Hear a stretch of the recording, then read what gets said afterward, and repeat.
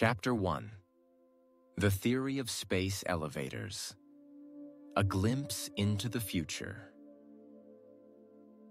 Ever wonder what it would be like if we could simply take an elevator to space? If the concept seems a bit outlandish, don't worry, you're not alone.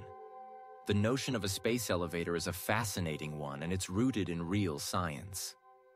Developed by Russian scientist Konstantin Tsiolkovsky in the late 19th century, the theory of space elevator proposes a colossal structure reaching from Earth's surface into space, theoretically making space travel as simple and accessible as pushing a button.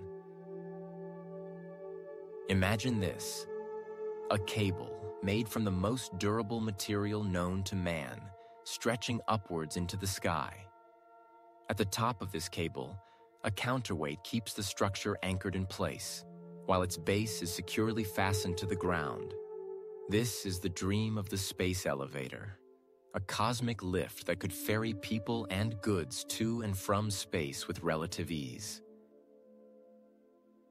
Chapter 2 Unraveling the Practicality Case Studies and Real World Examples. The concept of a space elevator might sound like something out of a science fiction novel, but it's been a topic of serious discussion among scientists and engineers.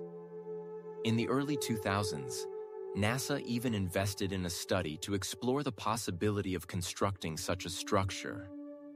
However, they found that no existing material was strong enough or light enough to make the cable feasible. The answer might lie in carbon nanotubes, a material identified in 1991 by Sumio Iijima, a Japanese physicist. These tubes are incredibly light, yet hundreds of times stronger than steel, making them seemingly ideal for a space elevator cable.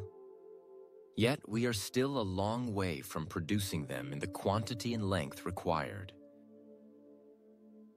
Chapter 3 Challenges Ahead the road to materializing the theory.